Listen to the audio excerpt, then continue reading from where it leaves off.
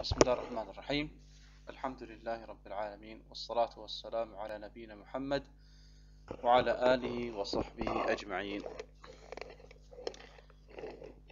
Okay, liebe Geschwister, also heute wollen wir inshallah zwei Kapitel behandeln. Soweit wir kommen, inshallah. Das erste Kapitel ist äh, Al-Dhikru Ba'd al-Salah, das heißt die Adhkar, die man nach dem Gebet sagt, nach dem rituellen Gebet, al-Salah. Und ähm, danach äh, fangen wir mit dem neuen Kapitel an, und zwar die freiwilligen Gebete. Fangen wir an mit Al-Dhikr Ba'd al-Salah. Allah subhanahu wa ta'ala sagte im Koran, Ja ayyuha alladhina amanu, o die ihr glaubt, udhkurullaha dhikran kathira, ähm, gedenkt Allahs viel. Gedenkt Allahs viel. Und Allah subhanahu wa ta'ala hat ähm, an mehr als einer Stelle erwähnt, dass man nach dem Gebet besonders viele Adhkar sprechen soll. Er sagte subhanahu wa ta'ala, hört man noch was?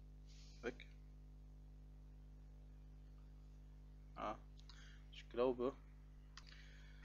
Und Allah subhanahu wa ta'ala hat an äh, mehr als einer Stelle im Koran das äh, Dhikr nach dem Gebet, und Dhikr bedeutet das Gedenken Allahs, irgendeine Form des Gedenken Allahs, er hat dieses Gedenken erwähnt ähm, in mehr als einer Stelle nach dem Salah. Er sagte subhanahu wa ta'ala, فَإِذَا قَضَيْتُمُ الصَّلَاةِ فَذْكُرُوا اللَّهَ قِيَامًا وَقُعُودًا وَعَلَى جُنُوبِكُمْ Wenn ihr euer Gebet dann beendet habt, dann gedenkt Allahs im Stehen, im Sitzen und auf der Seite liegend. Und Allah subhanahu wa ta'ala sagte ebenfalls, فَإِذَا قُضِيَتِ الصَّلَاةُ فَانْتَشِرُوا فِي الْأَرْضِ وَابْتَغُوا مِنْ فَضْلِ اللَّهِ وَاذْكُرُوا اللَّهَ كَثِيرًا لَعَلَّكُمْ تُفْلِحُونَ Er sagte, wenn ihr euer Gebet dann beendet habt, geht um das Jum'a-Gebet, dann äh, verbreitet euch wieder, verteilt euch wieder auf der Erde und strebt nach einer Huld von Allah äh, oder nach der Huld Allahs oder von der Huld Allahs und gedenkt Allahs viel, auf dass ihr erfolgreich sein möget. Und somit wissen wir, dass das äh, mit dem Salah, mit Assalamu alaikum rahmatullah, ist, das ist unsere Pflicht Allah subhanahu wa ta'ala gegenüber oder unser Gottesdienst Allah gegenüber nicht verendet, nicht äh, zu Ende, denn wir beten Allah subhanahu wa ta'ala nicht nur diesen fünf Gebeten an, sondern das Gebet eines, das Leben eines Muslims, das gesamte Leben eines Muslims widmet er Allah subhanahu wa ta'ala.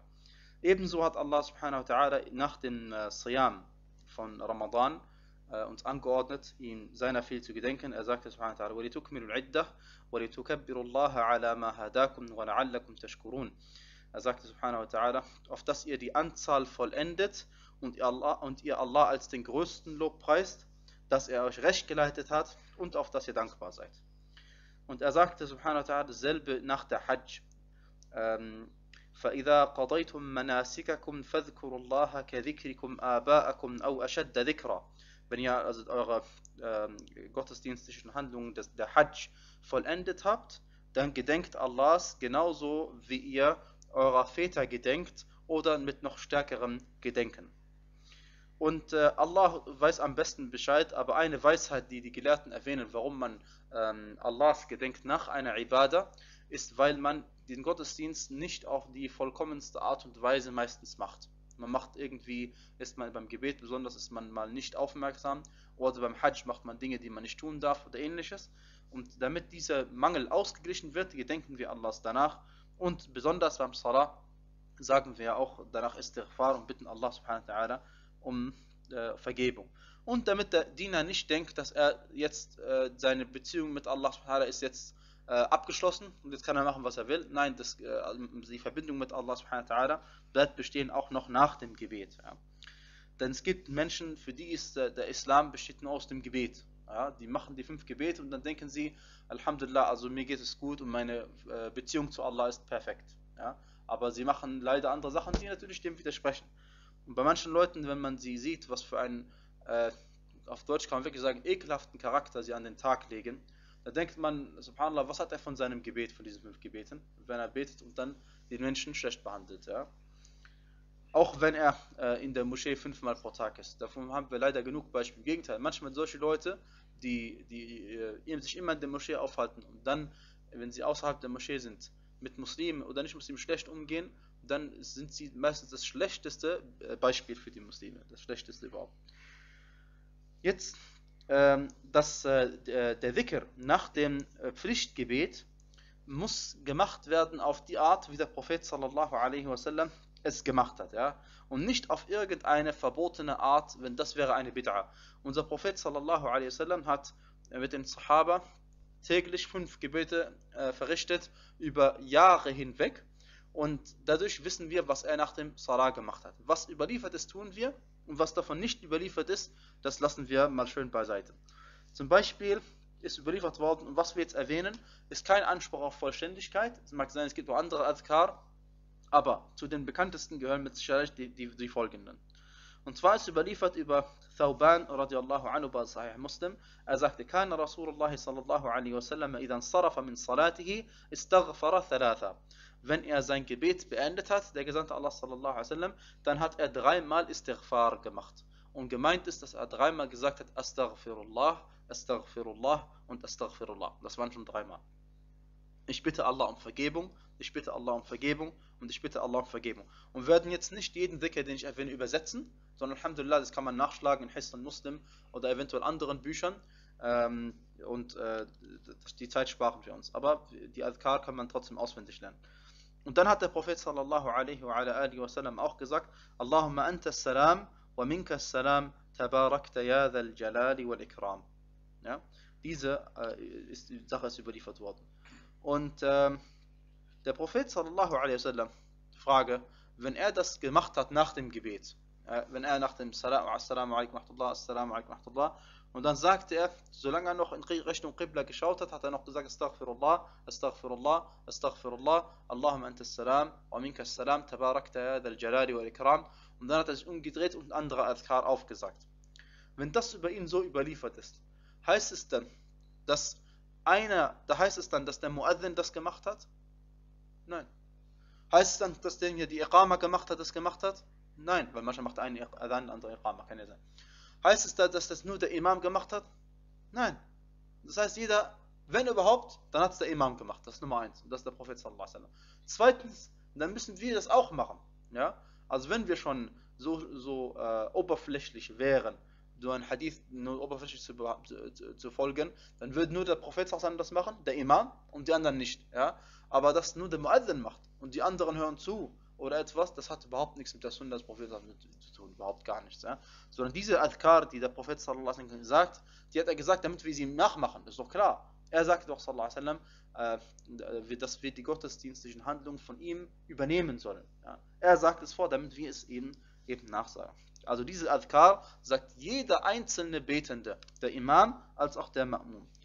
Des Weiteren ist äh, überliefert worden in As-Sahihain, über Al-Mughira ibn Shu'ba radiallahu anhu arda.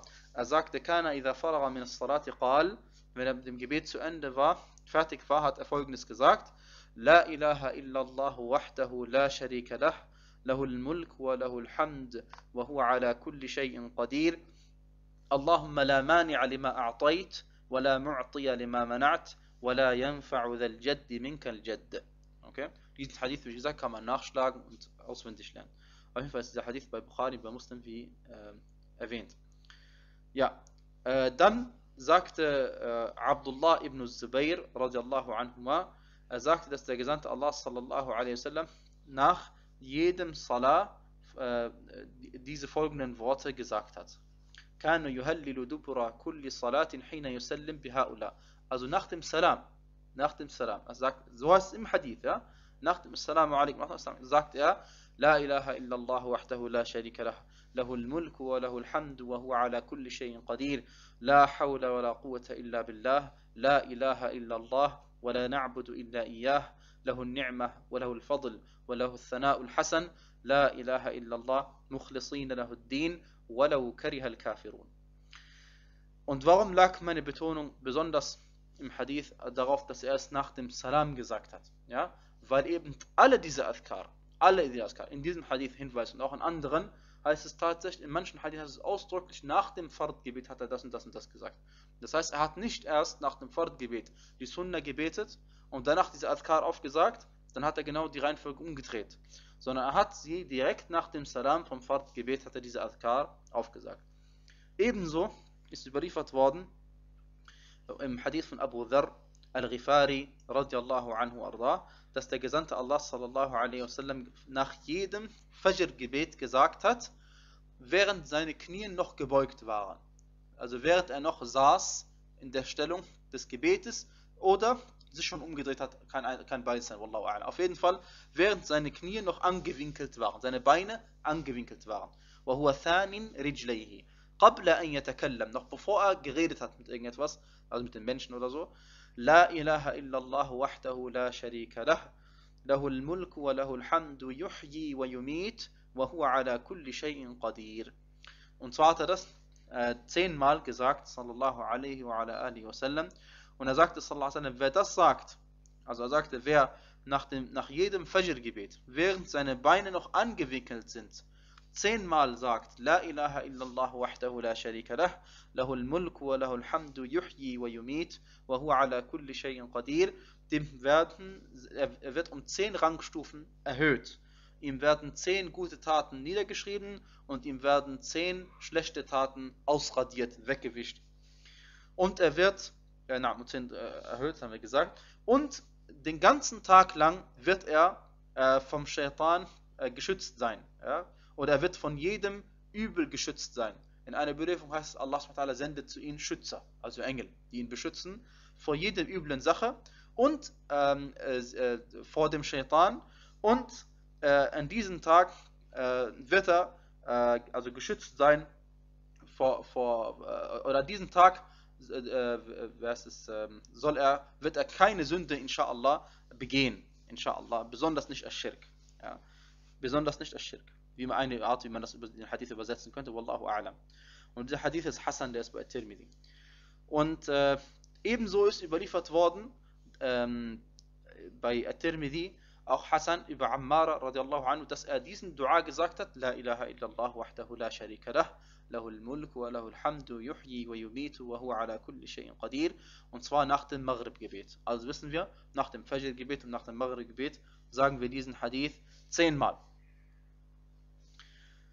Ähm, dann gibt es eine Überlieferung, äh, in dem es heißt, dass man äh, nach dem Maghrib und nach dem Fajr-Gebet sagt, Rabbi ajirni minan nar, o, oh mein Herr, äh, rette mich vor dem Feuer. Und dieser Hadith ist daif, falls manche Leute ihn gehört haben. Hadith über Ahmad, über Abu Dawud, al-Nasai und über Ibn Majah. Und der Hadith ist trotzdem daif, wie Sheikh al-Albani gesagt hat. Ja. Danach ist überliefert worden, liebe Geschwister, dass man nach jedem Fard-Gebet sagt man 33 Mal Subhanallah, 33 Mal Alhamdulillah und 33 Mal äh, Allahu Akbar. Und dann sagt man zur Vervollständigung der 100 äh, La ilaha illallah wahdahu la sharika lah, lahul mulk wa lahul hamdu wa huwa ala kulli shay'in qadir. Und äh, das ist, weil äh, Imam Muslim rahimahullah über den Gesandten Allah sallallahu alaihi wa ala alihi wasallam überliefert hat, dass er gesagt hat, wer nach jedem Gebet 33 Mal Subhanallah sagt, 33 Mal Alhamdulillah sagt, 33 Mal Allahu Akbar sagt, die sind 99. Und wer dann zur 100. sagt, La ilaha illallah wahdahu la sharika lah, lahul mulk wa lahul hamdu wa huwa ala kulli shay'in qadir, ihm werden seine Sünden oder seine Verfehlungen vergeben, selbst wenn sie so viele wären wie der Schaum des Meeres.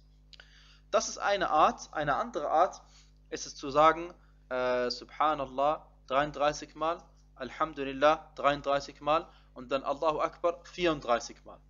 Und eine andere Art ist es auch zu sagen, Subhanallah, Alhamdulillah, Wallahu Akbar. Und das 33 Mal und dann zum 100. Mal, La ilaha illallah wahdahu la sharika lah, lahul mulku wa lahul hamd, wa huwa ala kulli shay'in qadir. Ja. Danach, nach diesen Adhkar, liest man Koran. Und zwar, was liest man vom Koran? Man liest nach jedem Fard-Gebet Ayat al-Kursi, der 255. Vers von Surat al-Baqarah. Und man liest ebenso danach Qul Wallahu Ahad und Qul A'udhu bi Rabbil Falaq und Qul A'udhu bi Rabbin Nas. Ja. Und zwar, die Begründung dafür ist, dass der Prophet sallallahu alaihi wa alihi wasallam gesagt hat, wer Ayat al-Kursi nach jedem Gebet liest, so wird ihn nichts vom Paradies abhalten außer dem Tod. Und das heißt ähm, in der Erklärung, äh, dass, äh, weil der Tod, der muss sein, jeder Mensch muss sterben. Also es gibt nichts, was ihn abhalten wird, außer dem Tod. Also nach dem Tod wird er äh, inshallah ins Paradies eingelassen, also Yom al-Qiyamah inshallah. Und ähm, ebenso heißt es in einer Überlieferung, wer das also gesagt hat, Ayat al-Kursi nach, nach jedem Salah, der ist dann im Schutze Allahs bis zum kommenden Gebet. Und äh, in der Sunan ist ebenfalls überliefert über Uqba ibn Amr radiallahu anhu, er sagte, Amarani Rasulullah sallallahu alaihi wasallam an aqra'a al-mu'awwidhatayn dubura kulli salah. Er hat mir der Gesandte Allah sallallahu alaihi wasallam hat mir angeordnet, die äh, Mu'awwidhatayn, also Qul a'udhu bi rabbil falaq und Qul a'udhu bi rabbin nas, nach jedem Gebet zu lesen. Ja? Und äh, äh, ja. diese Adkar weisen darauf hin, dass man sie nach jedem Pflichtgebet, also nach jedem Fardgebet von den fünf Gebeten äh, sagt. Und äh, weil man davon, weil man dafür sehr viele Belohnung, sehr viel Belohnung bekommt, soll man sie auf jeden Fall nicht weglassen, ja? Weil wenn einem dann die Sünden alle vergeben werden äh, und, oder einem zehn, zehn Sünden vergeben werden und zehn Taten niedergeschrieben werden und man um zehn Rangstufen erhöht wird, all dies fünfmal pro Tag, als wäre der Muslim tatsächlich immer gereinigt von seinen Fehlern, Fehlern die er macht. Ja. Ähm, also, noch einmal äh, sagen wir, dass die Art und Weise, wie wir die Adkar sprechen, das sind ganz normale Gottesdienste, ganz normale Ibadat und müssen deswegen gemacht werden wie jede andere Ibadah auch. Beim Salah würde keiner kein Mensch äh, auf die Idee kommen und irgendwie neue Bewegungen darin machen und eine neue Anordnung machen. Der Imam liest nicht mehr die, die Fatiha, sondern was anderes. Oder der Imam äh, sagt äh, nicht mehr die Fatiha auf, sondern Muaddin oder sowas, ja. Und wieso danach den Adkar, die Adkar machen wir neue Sachen darin? Also es gibt überhaupt keinen Grund, ja. Das beides sind Ibadat und Ibadat sind Tawqifiyah. Das heißt, Tawqifiyah bedeutet, sie sind fest vorgeschrieben, wir dürfen nichts an ihnen ändern, ja. Das ist ja klar. Deswegen ist ja der Prophet auch gekommen. Also, äh, wenn wir wollten, könnten wir die Adria noch einmal äh, aufsagen, brauchen wir aber nicht. Ähm, und äh, sagen folgendes. Äh, Al-Adhkar, also auch eine Bid'a, die sich eingeschlichen hat bei vielen Muslimen, ist, dass sie manche Adhkar nach dem Salah-Gebet in Gemeinschaft aufsagen. In Gemeinschaft aufsagen, indem einer was vorsagt und dann sagen es alle nach zum Beispiel. Ja? All diese Sachen, dafür braucht man einen Beweis. Und wenn man dafür keinen Beweis hat, dann ist man ähm, auf, sagt man, also sagt man, also hat man keine Grundlage, hat man keine Grundlage. Und wenn man von Allah subhanahu wa ta'ala dann gefragt wird, warum machst du das und das, dann hat man darauf kein Argument, hat man darauf, darauf keine Antwort. Also soll man es lieber unterlassen und sich lieber an das buchstäblich halten, wie der Prophet sallallahu alaihi wasallam es gemacht hat. Ähm, dann des Weiteren ähm, soll man äh, äh, nach manchen Gelehrten den Dhikr laut sagen, nach dem Salah. Und nach manchen Gelehrten leise sagen, gibt es zwei Ansichten, äh, gibt es zwei Ansichten und man kann sich eine davon aussuchen. Und äh, laut ist eben gemeint, dass also die nebenan Leute es hören können. Ja? Weil es gibt einen Hadith, in dem, man, in dem es heißt, dass, man, äh, dass, die, dass die Leute schon gewusst haben, dass das Gebet fertig war, noch dadurch, dass die Leute Dhikr gemacht haben. Dadurch, dass die Leute Dhikr gemacht haben. Das heißt, ich weiß nicht, warum die Leute daraus direkt, direkt verstehen in Gemeinschaft. Das muss wohl nicht sein, okay? Aber das verstehen sie so, warum? Weil, wenn du an diese Bid'a gewohnt bist, ja, und du auch dann noch davon überzeugt bist, dann natürlich, äh, wenn du ein Hadith liest, der indirekt darauf hinweist, auf was du machst, dann, dann ist es für dich schon dein Beleg. Automatisch. Die Leute sind so. Auf jeden Fall, ähm, äh, aus diesem Hadith haben manche Gelehrte genommen, äh, entnommen, dass man den Dicker laut sagt nach dem Salah. Und andere haben gesagt, nein, das ist nur, weil jeder, äh, ich sage das jetzt im positiven Sinne, ja, nicht falsch verstehen, im positiven Sinne, jeder murmelt, also leise vor sich hin redet, ja, und dadurch wird es insgesamt lauter. So haben manche Leute gesagt, ja. Wie der Allah weiß am besten Bescheid, aber äh, was überhaupt nicht geht, ist, dass manche Leute Koran lesen oder im Salah äh, Sachen aufsagen oder nach dem, nach dem Salah Dhikr aufsagen und dabei keinen Ton rausbringen. Ja, der Ton, du musst irgendeinen Ton rausbringen. Ja. Ich habe nicht gesagt, äh, äh der Nachbar muss es hören und wir sagen nicht einmal, wie viele Gelehrte sagen, du musst es selbst hören, sagen wir auch nicht, ja, weil entweder du bist taub, kannst es gar nicht hören, aber das meinen sie natürlich nicht, die meinen natürlich den gesunden Menschen, aber angenommen es gibt Geräusche, muss ich deswegen lauter werden, damit ich mich, nein, wir sagen Hauptsache es kommt Geräusche raus, weil sonst wäre es nur ein Lippen bewegen und ein Lippen bewegen allein, das ist also kein, kein Aussprechen, ja. Dann, äh, ich habe gesagt noch einmal, also es ist kein Anspruch auf Vollständigkeit, es gibt noch bestimmt nur andere Adkare, die man aufsagen kann, ja, also die man nachschlagen kann. Ja? Dann soll man, äh, wenn man zählen will, zum Beispiel Subhanallah 33 Mal sagen und so, äh, soll man es mit den Fingern zählen. Ja? Man hat zwei Möglichkeiten. Entweder man zählt es, und zwar mit der rechten Hand hat der Prophet sallallahu es gezählt. Mit der rechten Hand hat er die, äh, diese Tasbih und Takbir und Tahlil gezählt. Und zwar ähm, äh, entweder man, man, man zählt mit den Fingerspitzen, also 1, 2, 3, 4 und mit den Fingerspitzen, dann hätte jede Hand 5. Und was auch äh, in Ordnung ist, wenn man mit den Fingern, äh, äh mit den Fingergliedern zählt. Ja? Was nämlich darauf, worauf der Hadith eigentlich hinweist, Al-Anamil, weist auf die Fingerspitzen oder die Fingergelenke. Entschuldigung, Fingergelenke. Ja? Wie dem auch sein. Dann gibt es eine Meinungsverschiedenheit unter den Gelehrten, darf man as Subha benutzen. Subha, diese Kette, die aus äh, in der Regel 33 Steinen besteht, ja, gibt auch größere Versionen davon, aber 33 Steine, äh, meistens sind die Steine klein, ich habe auch schon mashallah riesen Brocken gesehen. Und äh, diese äh, Subha gibt es Meinungsverschiedenheit unter den Gelehrten, darf man sie benutzen, darf man sie nicht benutzen. Wenn man sie benutzt und glaubt, dass eine Sunna ist, ist eine Bid'ah, zweifellos, aber und auch wenn man, äh, wenn man sie nicht benutzt äh, äh und nicht glaubt, dass Sunna ist, da gibt es Meinungsverschiedenheit und wir sagen, die richtigere Ansicht ist, wie mehr als ein Gelehrter gesagt hat, dass es auch eine Bid'ah ist, dass man mit der Subha das Bier zählt. Und der Grund ist ganz einfach, weil äh, das eine Neuerung ist und es damals nicht gegeben hat, Nummer eins. Und Nummer zwei, ähm, äh, es ist immer gefährlich, wenn man etwas Neues macht in der Religion, was man damals auch hätte machen können. Ja, das ist immer so ein Maßstab. Also äh, es gibt etwas in der Religion, man Istihsan. Manche Leute sagen, oder in diesem Fall meine ich Al-Masalih al-Mursala. Al-Masalih al-Mursala, damit meinen die Gelehrten neue Dinge, die sich als sinnvoll erweisen in der Religion. Neue Dinge in der Religion, die sich als sinnvoll erweisen. Diese Dinge kann es geben. Wie zum Beispiel, ein Beispiel ist die, die Mikrofone. Ja? Ähm, dadurch, das hat noch kein Gerät als eine Bid'a bezeichnet. Ja? Warum? Weil solche Masalih Mursala, die also Vorteile haben, Nutzen bringen in der Religion, die dürfen gemacht werden in der Religion unter zwei Voraussetzungen. Die erste Voraussetzung ist, dass es äh, nicht äh, einer Sunna widerspricht. Oder natürlich im Koran widerspricht. Ich meine, dem Islam irgendwie widerspricht. Ja? Die zweite Voraussetzung ist, dass diese neue Sache, dass man sie nicht hätte damals auch schon machen können. Wenn man sie damals hätte auch schon machen können, dann fragen wir, warum haben sie es damals nicht gemacht? Wahrscheinlich, weil es nicht zum Islam gehörte. Also solche Ketten mit Steinen drin hätte man damals auch machen können, zweifellos.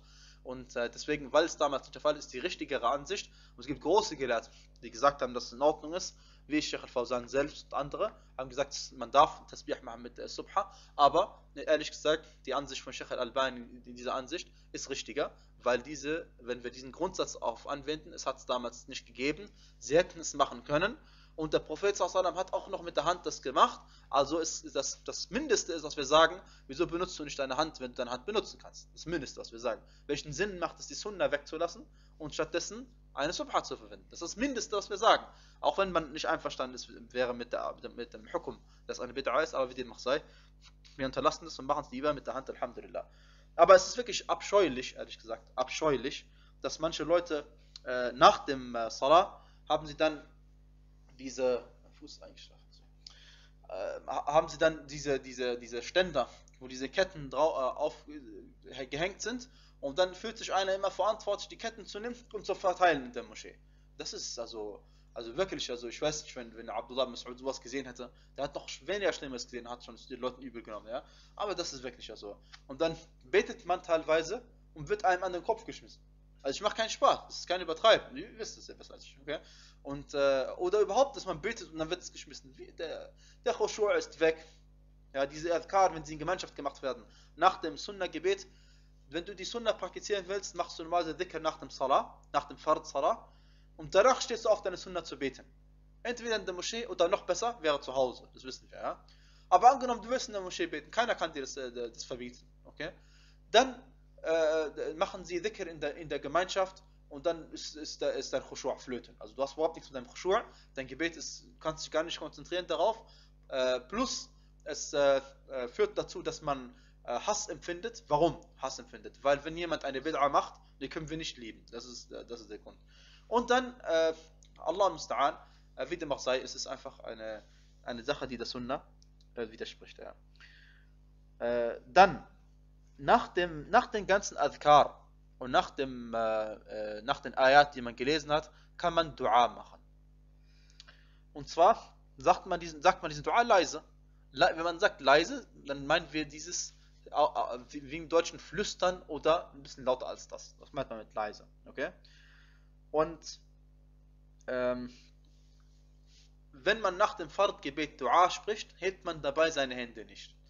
Und der Grund ist, dass dies nicht über den Propheten überliefert worden ist. Wir haben drei Situationen, wenn wir sprechen über das Hände heben. Da gibt es drei Situationen. Die eine Situation ist, oder die eine Art ist, die Art, wenn es überliefert worden ist. Wenn es überliefert worden ist, heben wir die Hände. Ja?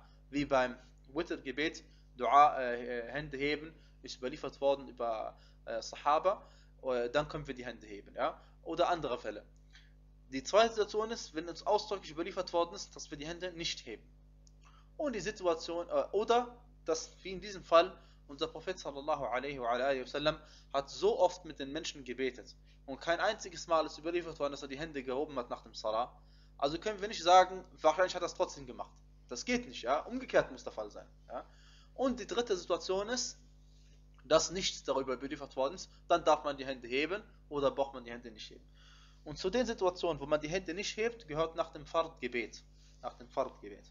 Und wenn man sie ab und zu hebt, ja, nicht glaubend, dass es eine Sunna ist, ab und zu, das heißt einmal in der Woche oder ähnliches, ja, dann ist es auch inshallah unproblematisch. Auf jeden Fall, es darf nicht zur Regelmäßigkeit werden. Was regelmäßig werden soll, sind die Sunnan.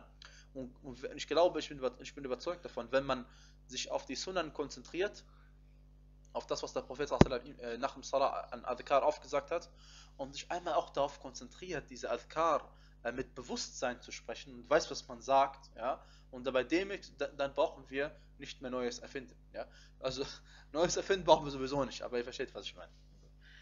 Gut, und dann ist auch, wenn man diese äh, Duas leise sagt, ist es auch viel näher dem Ikhlas. Viel näher dem Ikhlas. Und weiter weg von Ar-Riya. Ähm,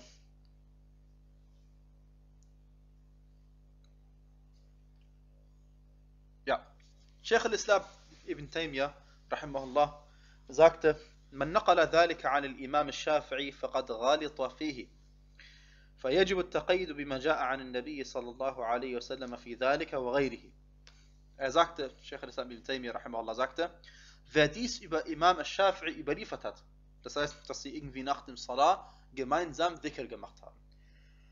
Wer dies über Imam al-Shafi'i überliefert hat, der hat sich in Bezug auf Imam al-Shafi'i geirrt. Und man muss sich an das halten, was über den Propheten sallallahu alaihi wasallam überliefert worden ist. Diesbezüglich und in Bezug auf andere Dinge. Denn Allah subhanahu wa ta'ala sagte im Koran, وَمَا أَتَاكُمُ الرَّسُولُ فَخُذُوهُ وَمَا نَهَاكُمْ عَنْهُ فَانْتَهُ Was euch der Gesandte gegeben hat, das nehmt an. Und was, der, was er euch verboten hat, dem äh, enthaltet euch. Dem enthaltet euch. وَاتَّقُوا اللَّهِ إِنَّ اللَّهَ شَدِيدُ الْعِقَابِ Und fürchtet Allah, Allah ist wahrlich streng im Bestrafen.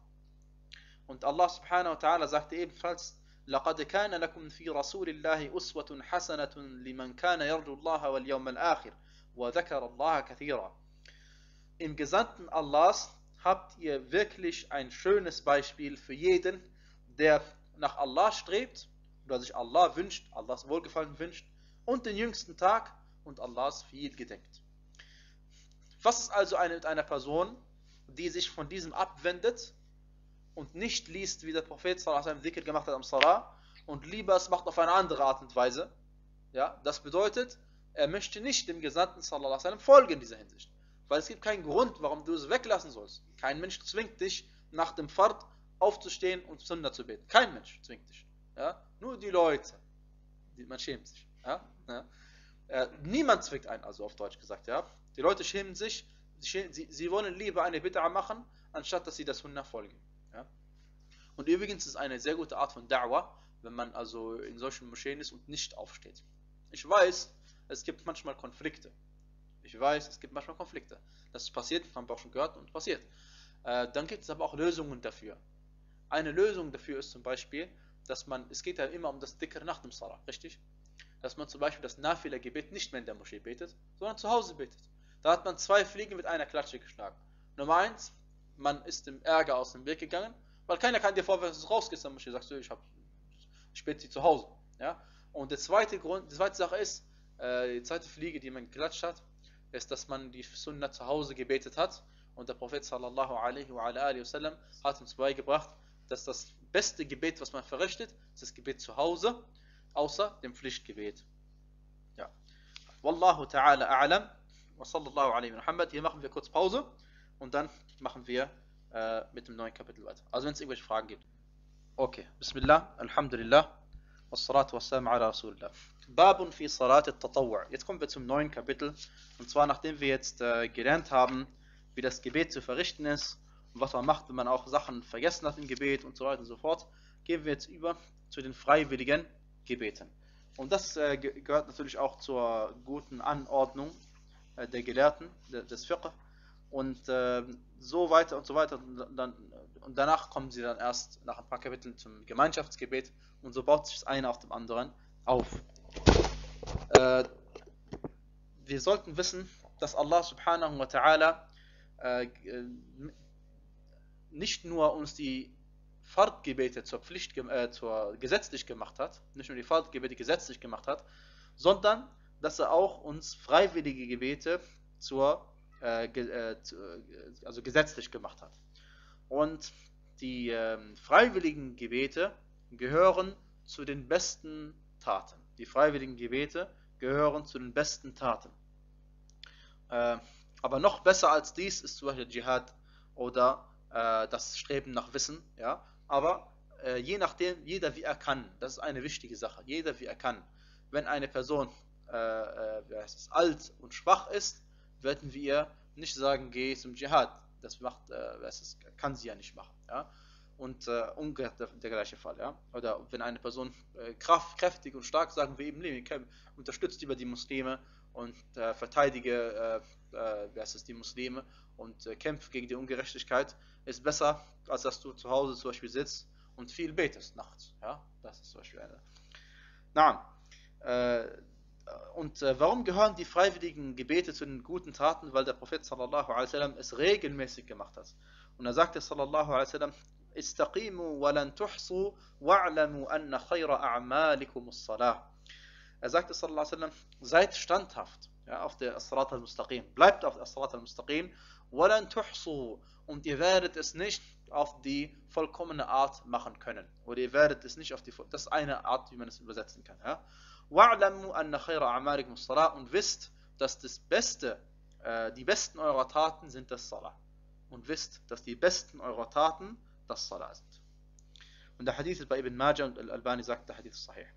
Und der Grund ist, Wallahu a'lam, wie wir erwähnt haben, dass das Salah beinhaltet Koran lesen, Ruku', Sujud, Dua, sich erniedrigen für Allah subhanahu wa ta'ala, sich, sich äh, zu unterwerfen für ihn, Allah subhanahu wa ta'ala um Hilfe zu bitten, dass man Allah als den größten Lobpreis, dass man überhaupt Lobpreis und dass man den Segenstrost über den Propheten sallallahu alaihi ausspricht. Also beinhaltet viele verschiedene Ibadat. Und vorher auch äh, At-Tahara, eine Ibadat. Und nachher Al-Dhikr, ja, und so weiter und so fort. Es gibt zwei Arten von äh, Tatawwu'. Tatawwu' heißt freiwillig. Freiwillige Gebete jetzt in dem Fall. Es gibt zwei Arten von Salat, At-Tatawwu'. Die erste Art ist diejenige, man nennt sie ein Nawafil, ist der Plural von Nafila. Nafila heißt ein freiwilliges Gebet. Oder eine freiwillige Sache. Und gemeint ist hier ein freiwilliges Gebet. Und äh, ein Nawafil ist der Plural von Nafila. Also die freiwilligen Gebete, ein Nawafil.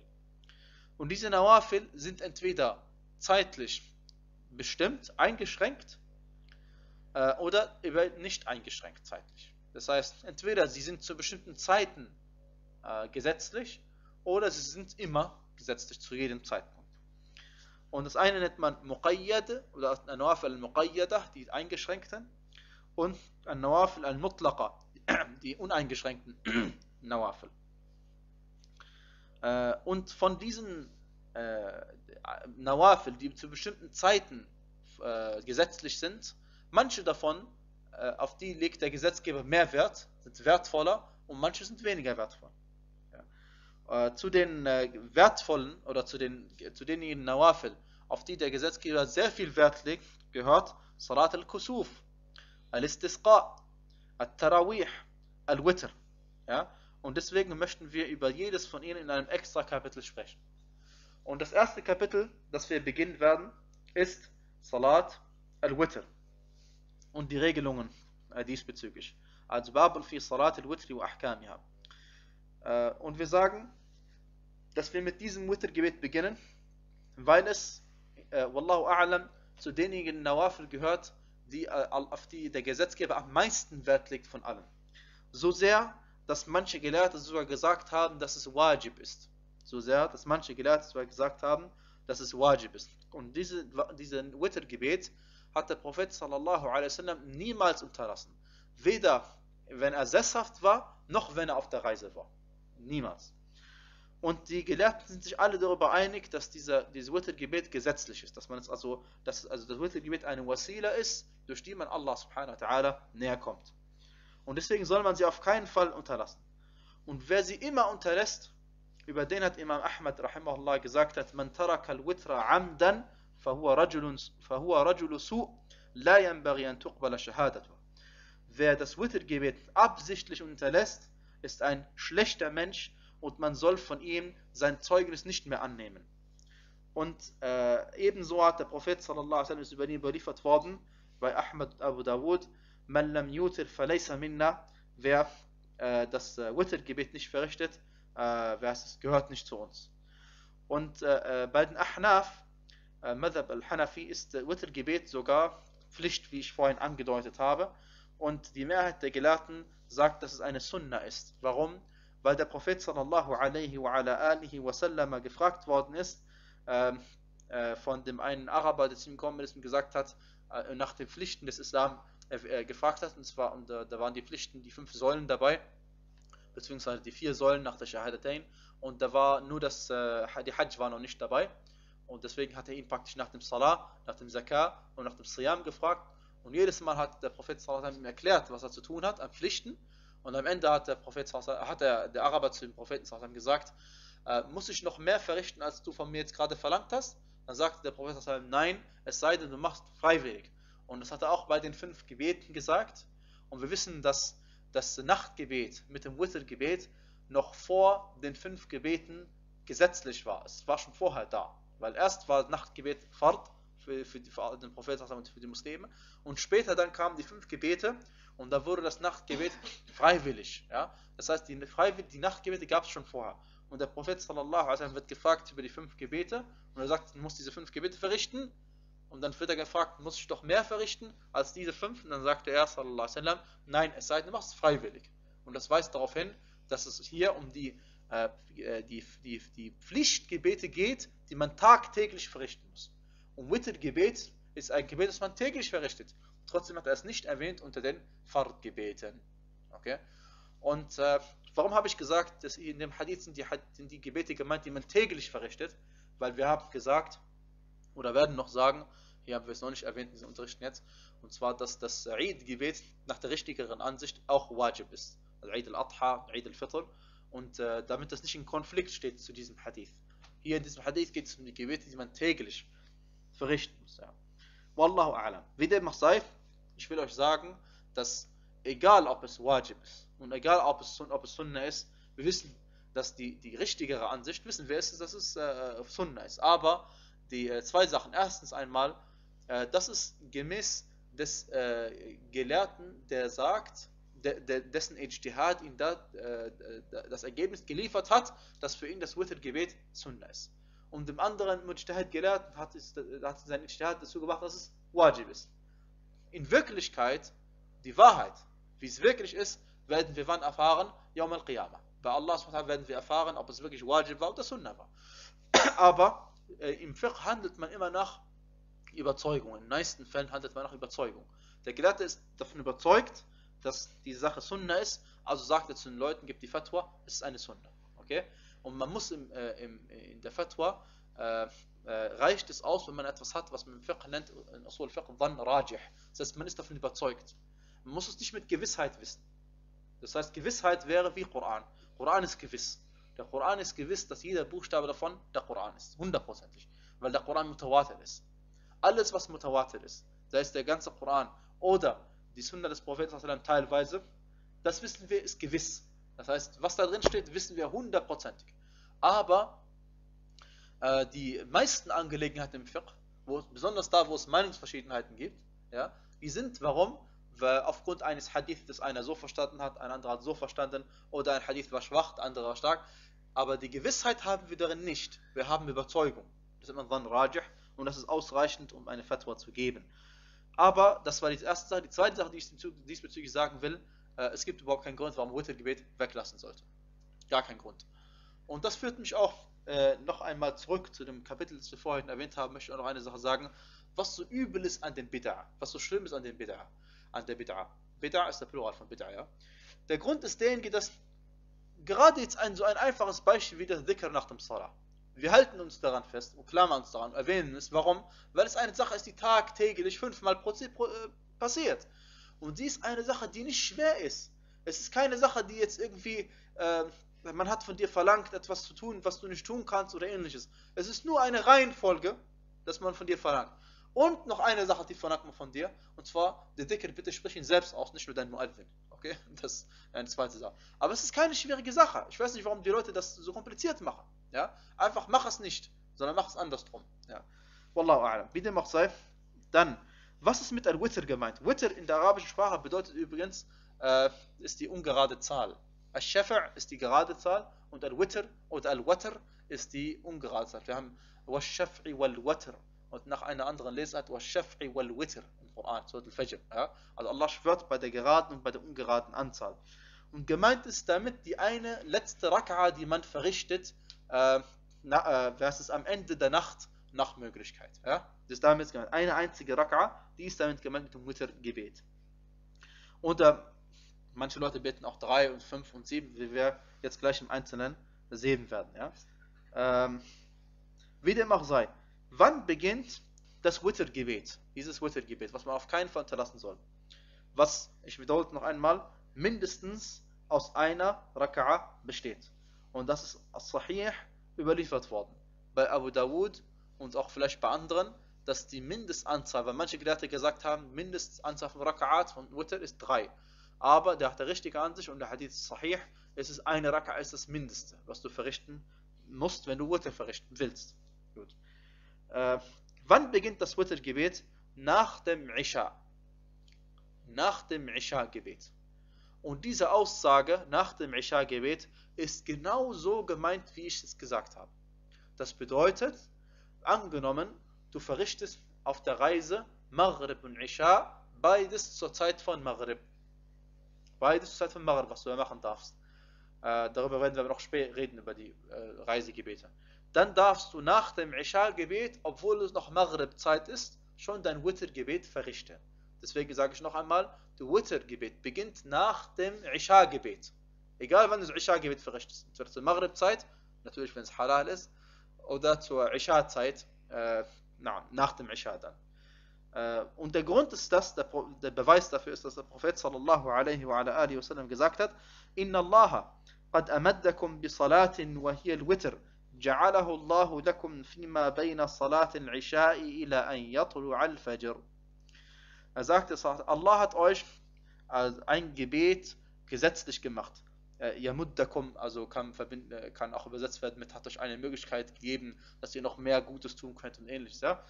Mit einem Gebet, das er gesetzlich gemacht hat, es ist das Witr-Gebet. Er hat es euch gesetzt zwischen dem Isha-Gebet, bis die Sonne aufgeht. Und der Prophet guck mal, der Hadith an.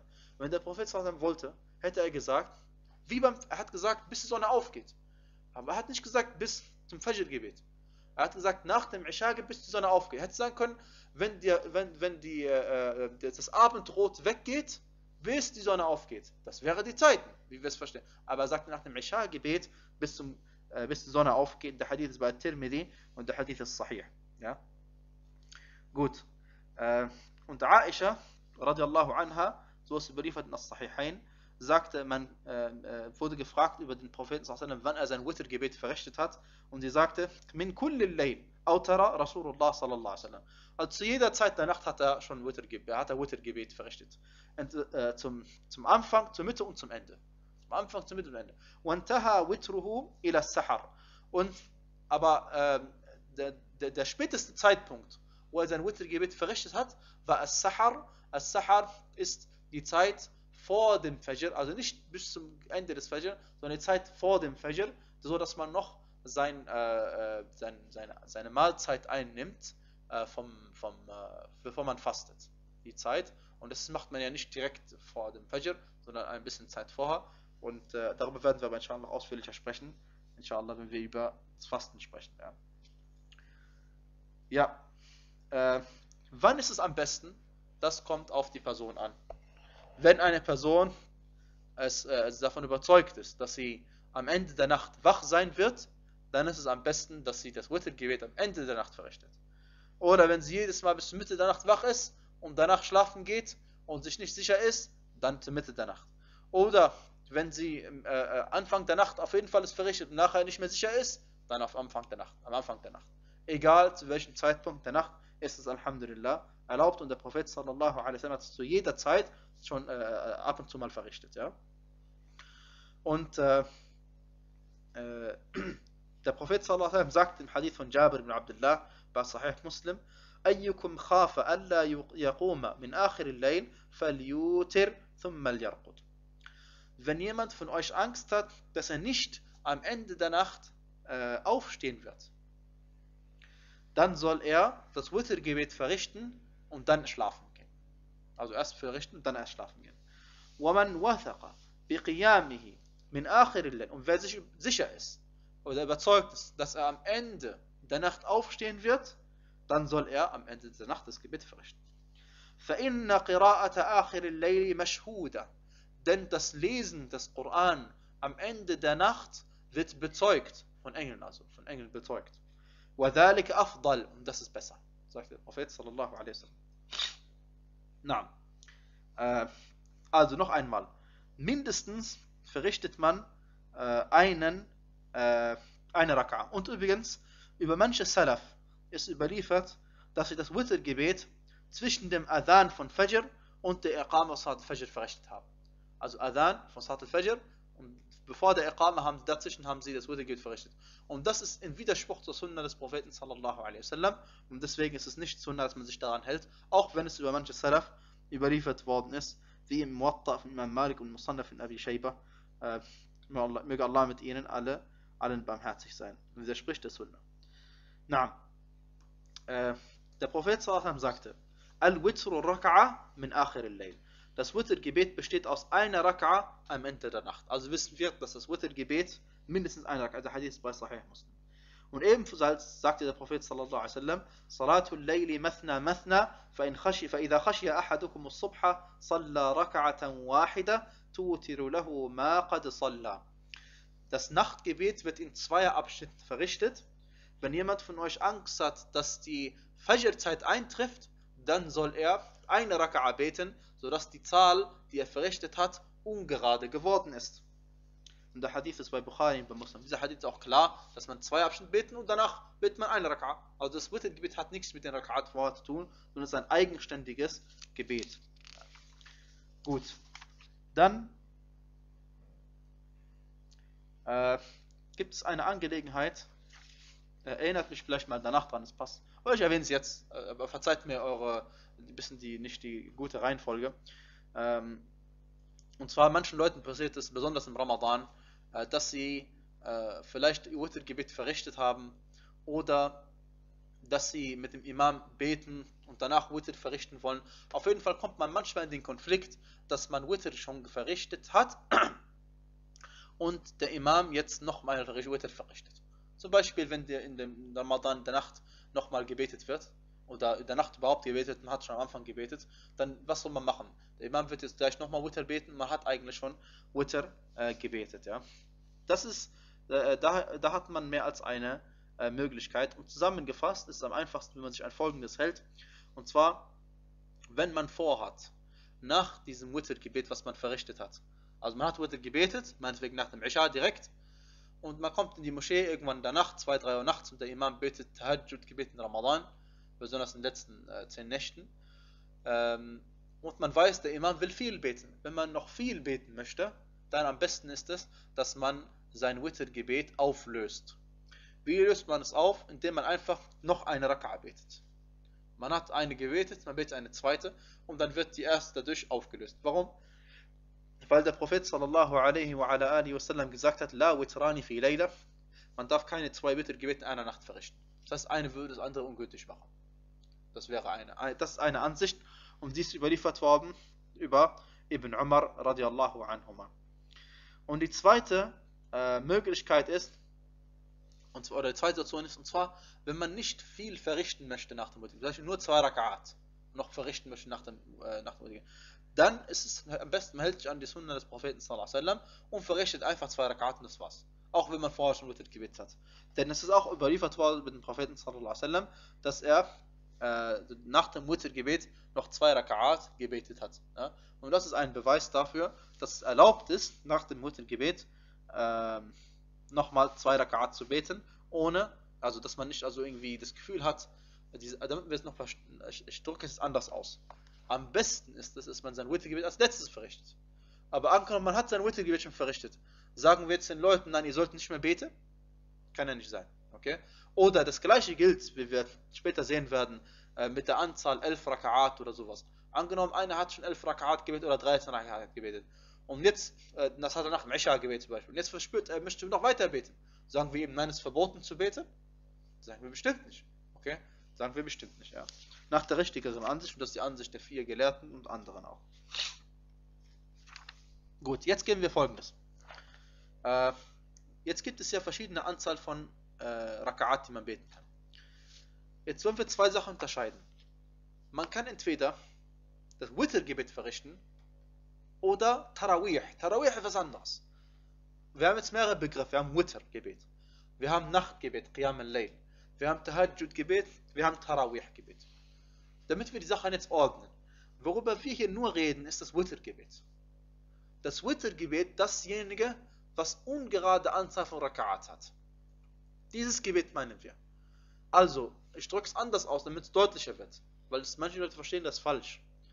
Wenn ich also in der Nacht 2, 2, 2, 2, 2 Rakat bete und dann am Ende eine bete, das Wittergebet ist das letzte gewesen. Das andere war kein Wittergebet. Das andere war einfach Nachtgebet. Qiyam al-Layl, meinetwegen. Und Tahajjud nennt man es, wenn man es nach dem Aufwachen, wenn man extra dafür aufsteht. Ja, gut. So jetzt sagen wir folgendes. Ähm, wenn du dein Wittergebet eine Raka'a beten möchtest, nur eine Raka'a beten möchtest, ja, dann hast du kein Problem, dann betest du einfach nur eine Raka'a. Das war's. Okay, das, das war's. Aber fangen wir mal an. Die höchste Anzahl, die man betet als Wittergebet, zumindest die höchste Anzahl, die man beten darf als Wittergebet. Und wenn man da sich unterscheidet, ist tatsächlich eine Bid'a. Warum? Weil der Prophet hat als meistens als Wittergebet, ich sage noch einmal, es geht um Wittergebet, hat als 11 und maximal 13 Raka'at gebetet. Jede Nacht. Und gemeint ist eben als ein Salah. Das ist ein Salah. Okay? Und zwar hat er, ähm, äh, wie heißt es, äh, aber wie wir es verrichten, werden wir gleich also äh, sagen. Die erste Version ist allerdings, wenn man 11 oder 13 Rakat beten möchte, dass man 2 Rakat betet, Salam macht. 2 Rakat betet, Salam macht. 2 Rakat betet, Salam macht.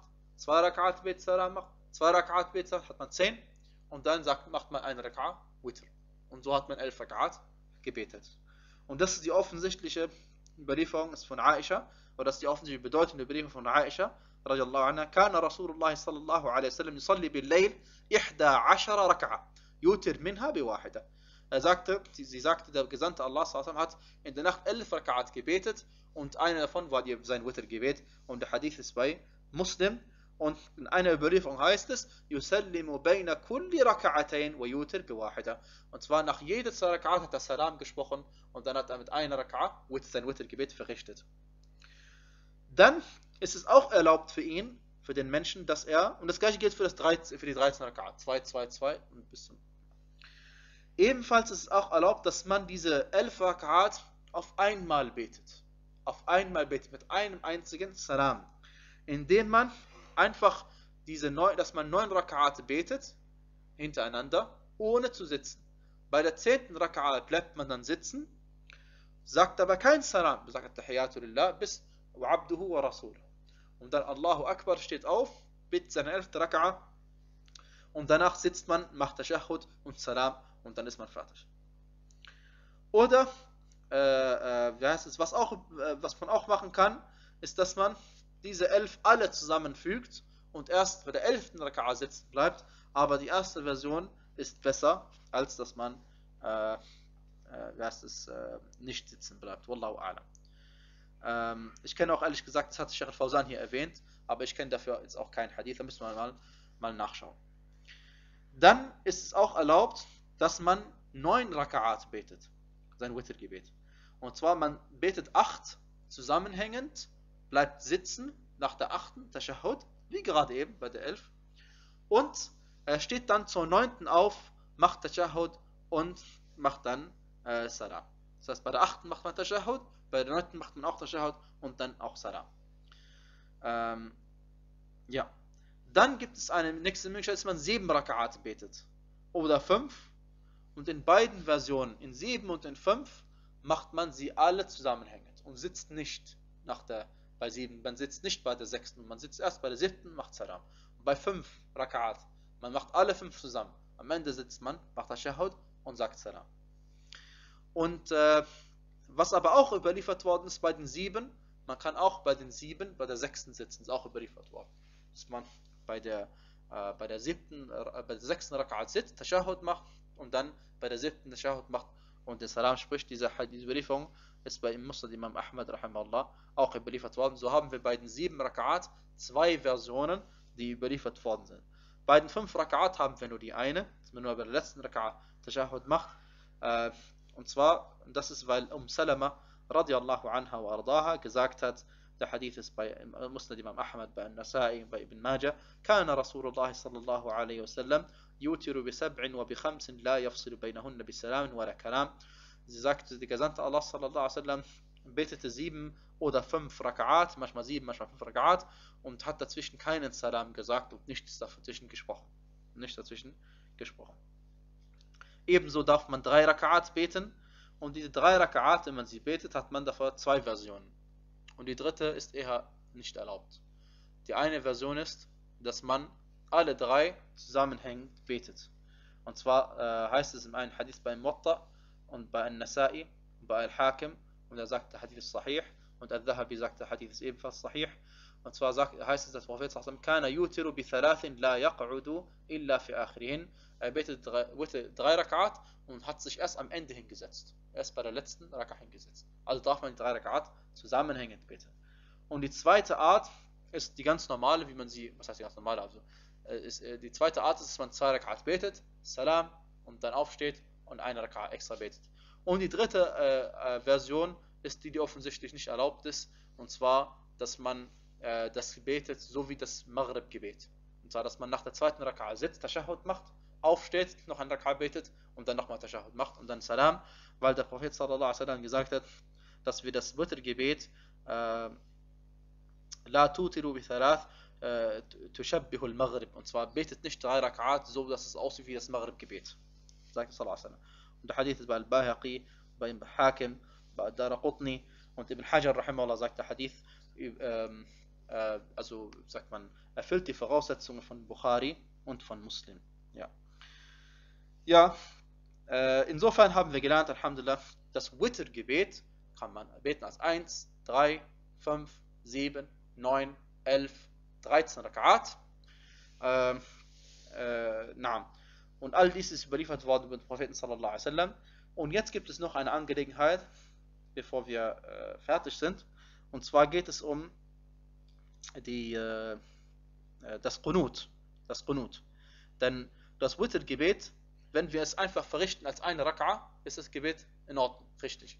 Aber es ist auch überliefert worden, äh, bei mehr als, in mehr als einem Hadith, äh, die gehen alle über Al-Hassan ibn Ali radiallahu anhuma, äh, dass der Prophet sallallahu alaihi wasallam, also Al-Hassan sagte radiallahu anhu, dass der Prophet sallallahu ihm beigebracht hat, sein Großvater, dass er im Witr-Gebet folgenden Dua sprechen soll. Allahumma hdini fi man hadait, wa'afini fi man afait.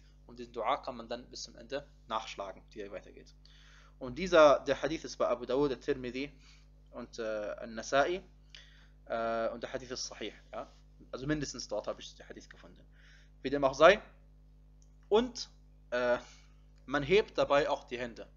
Man hebt dabei die Hände, denn das ist überliefert worden über Umar ibn Khattab radiallahu anhu bei Al-Bayhaqi und äh, Umar ibn Khattab gehört zu den vier Khulafa, die der Prophet wasallam gesagt hat, alaikum bi sunnati wa sunnati al-Khulafa ar-Rashidin al-Mahdiyin min ba'di, also haltet euch an meine Sunna und an die Sunna der rechtgeleiteten, besonnenen Kalifen nach mir, beißt auf ihr mit den Backenzähnen fest. Und Umar ibn Khattab gehört zu ihnen. Und er hat die Hände gehoben, deswegen hält wir die Hände äh, also in, in, bei den Qunut von Al-Witr-Gebet ebenfalls. Und wenn man es nicht macht, kann man niemandem was vorwerfen, weil es nicht über den Propheten überliefert ist, aber es ist eine Sunna von Umar, deswegen machen wir es ihm nach, zweifellos. Ja. Äh, wie macht man die Hände? Die, die, der Sheikh Al-Uthaymin sagte, dass die Aussage der Gelehrten weist darauf hin, dass man die, dass man die Hände in, äh, in Höhe der Brust macht und dass man sie äh, eher zusammen macht als auseinander. Dass man sie eher zusammen macht auseinander. Das ist eine Angelegenheit, also das, darauf weisen die Aussagen der Gelehrten hin, äh, möge Allah mit ihnen zufrieden sein. Und äh, man hebt die Hände nicht zu sehr hoch, ja, weil es nicht um eine Art, äh, äh wie heißt es, äh, äh, übertriebene, also Iftihal, es geht nicht um eine Art übertriebene Unterwerfung, ja, es geht einfach um ein Sprechen eines relativ, sag ich mal, gewöhnlichen Duas und diesen Dua spricht man, indem er seine Hände nicht übertrieben hebt, ja, sondern ganz normal. So, ähm, diesen Dua spricht man.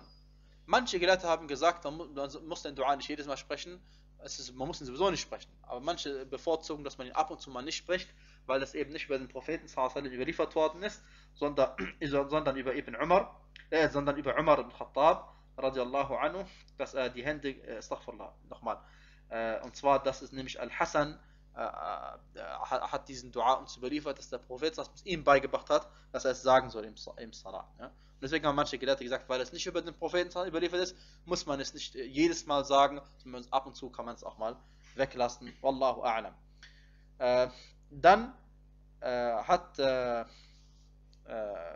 gibt es auch noch einen weiteren, eine weitere Überlieferung, und zwar der Dua Allahumma iyyaka nahmud iyyaka Allahumma نحمدك ونستعينك ونستهديك ونؤمن بك ونتوكل عليك ونثني عليك الخير كله dieser Dua der auch vielen Leuten bekannt ist der hat Umar ibn Khattab auch über, äh, aufgesagt und der Hadith ist bei Al-Bayhaqi äh, in Sunan Al-Bayhaqi und der Hadith ist auch ebenfalls äh, sagt Al-Bayhaqi rahimahullah sagt selbst der Hadith ist sahih und da diesen Dua kann man ebenfalls sprechen also im Witr-Gebet ja und danach kann man eben sagen, Allahumma hadini fi man hadait. Und, und überhaupt entgegen, salam, entgegen dem, was manche Gelehrte gesagt haben, man darf im Witr-Gebet äh, auch andere Adriya sprechen. Man darf diesen Dua sprechen, man darf den anderen Dua sprechen und man darf auch andere Adriya sprechen. Denn beim Dua geht es darum, dass man Dua macht. Am besten ist es immer, man hält sich an das Überlieferte aber angenommen, du hast irgendetwas, was du unbedingt sagen möchtest, ja, dann darfst du diesen Dua sprechen. Wallahu ta'ala a'lam. Ja. Äh, äh, die Gelehrten haben gesagt, auf eigene Sprache, wenn du keine, äh, wie heißt es, äh, wenn du nicht auf Arabisch sagen kannst. Wenn du nicht auf Arabisch sagen kannst, sagst du es auf eigene Sprache. Wallahu a'lam. Ja. Das gleiche gilt für Sajud und das gleiche gilt auch für die Stelle vor dem äh, Salam. Stelle vor dem Salam. Ja. Ähm, nur ihr kennt den Dua Allahumma hdini fi man hadait wa afini fi man afait. Wenn man Imam ist äh, und man macht, äh, also Imam ist, das ist klar, damit meine ich, dass man betet, während Leute hinter einem ist, sind, dann soll man nicht diesen Dua so sprechen, sondern in Pluralform sagen. Man sollte eben lernen, Allahumma hdina fi man hadait wa afina fi man afait, weil der Prophet dann gesagt hat, man amma qawman fakhassa nafsahu bid Dua faqad khanahum. Wer ein wer, wer Imam ist für, für, für, für Muslime Imam ist und dann Dua macht für sich selbst, der hat die anderen betrogen. Ja? Und der Hadith ist bei Ahmed und äh, Tirmidhi und Ibn Majah und äh, Tirmidhi sagt, der Hadith ist Hassan. Ja? Also, ähm, ja, dann, äh, wie steht es äh, mit dem Qunut, diesem Dua, den man spricht im Saal? Wann sagt man den überhaupt?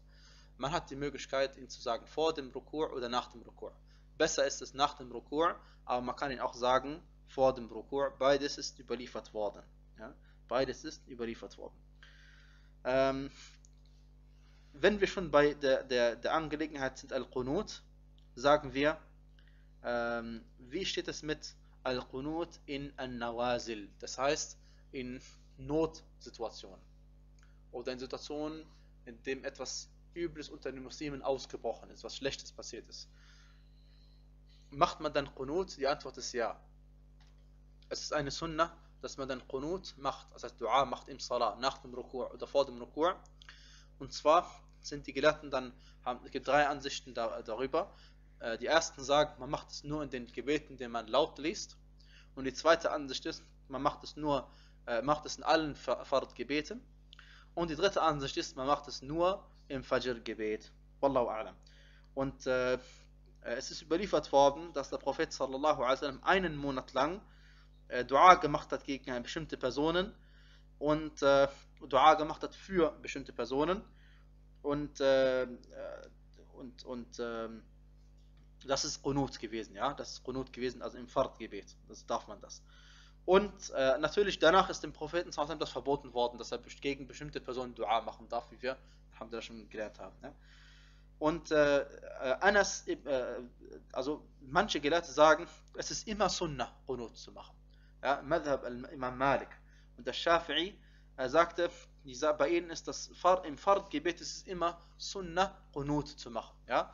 Äh, aber wenn ich mich richtig entsinne, bei, bei, bei Shafi'i ist es nur beim Fajr-Gebet, Wallahu a'lam. Aber müssen wir nochmal nachschauen, nachschauen. Wie dem auch sei. Und sie stützen sich unter anderem auf einen Hadith von Anas, in dem er sagte, Lam yazal yaqnut hatta faraq dunya Das heißt, er hat bis zum Ende seines Lebens noch Qunut gemacht. Ja? Und dieser Hadith ist aber umstritten und deswegen lassen wir ihn weg und sagen, wir machen Dua, äh, dieses Qunut Dua bei äh, diesen Notsituationen oder noch weniger als Notsituationen an Nawazil, ähm, wenn es notwendig ist, wenn es einen Grund dafür gibt. Ja. Äh, und äh, der, der Grund dafür, warum wir es nicht immer machen und dass dieser Hadith äh, nicht authentisch ist, ist der Beweis dafür, ist und zwar, dass äh, ein Sahabi gefragt worden ist, äh, äh, sagte zu ihm, ja Abati, صليت وراء النبي صلى الله عليه وسلم وأبي بكر وعمر وعثمان وعلي هل كانوا يقنطون also ein Sahabi die gefragt oh, du, wurde, du hast doch hinter dem Propheten hinter Abu Bakr hinter Umar hinter Uthman hinter Ali gebetet haben sie Qunut gemacht in der Fahrt haben sie Qunut gemacht und da sagte er la sagte nein innahu muhdath das ist etwas Muhdath. Muhdath was Neues, eine Bid'a. Ja? Wie der Prophet sagte, كل محدثة بدعة. Jede Muhdath auf Arabisch ist etwas Neues. Eine Bedeutung von vielen. Muhdath hat mehr als eine Bedeutung. Ja? Muhdath heißt im Tahara haben wir gelernt auch unrein, ja? wenn man Muhdath ist. Ja? Ähm, ja. Also wenn es einen Grund gibt, macht man Qunut. Ähm, und richtiger ist eben, dass der Prophet es nicht bis zum Ende seines Lebens gemacht hat. والله تعالى أعلم.